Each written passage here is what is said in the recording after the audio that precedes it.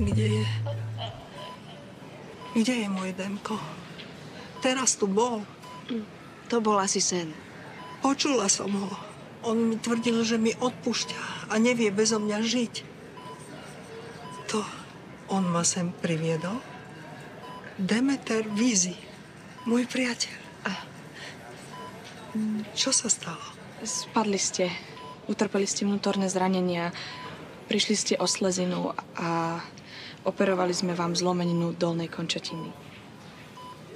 Takže Demko? Bol iba sen. Ten debilný sen, ktorý sa mi sníva už 50 rokov. Odkedy... Ach, škoda reči. Aj tak tu teraz umriem a moja láska až za hrob umrie so mnou. A všetko dôležité, čo som mala doteraz spraviť, už nestihnem. Pani Vajsábelová, my sme urobili všetko preto, aby ste neumreli. Všetko v živote som pokazila.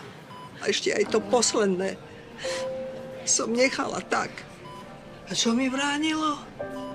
Pícha. Ste po operácii ubolená a rozrušená. Dáme vám niečo, aby ste znovu zaspali. No a potom sa vám bude snívať opäť sen o Demkovi. Ale kašlem na sen. Ja chcem, aby prišiel naozaj. Aby prišiel, ospravedlnil sa mi. mi nie, aby, aby mi odpustil. A to by som ho musela najskôr odprosiť. Ja som si roky predstavovala, ako idem na Harmančekov 28. Zazvoním na jeho zvonček. Viete, čo mi bránilo? Že bol šťastné ženatý s deťmi. Ale houby. že keď uvidí starú ženskú, tak si povie chvála Bohu, že som tu starú ježebabu opustil. Ale vyzeráte výborne.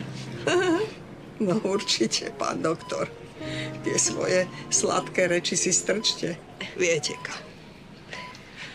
Ale keď mi chcete naozaj pomôcť, skôr než vám tu otrčím kopytá, prosím, zavolajte môjho Demka.